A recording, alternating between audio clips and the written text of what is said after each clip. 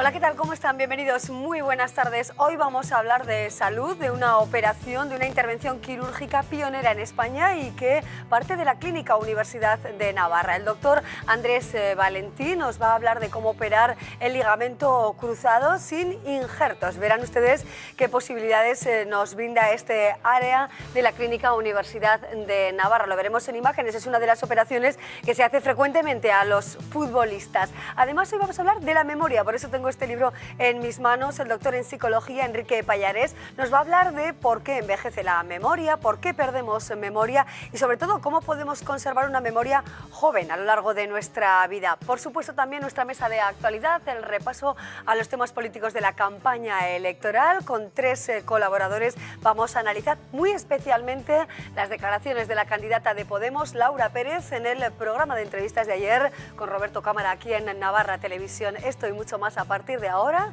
en Me Importas Tú.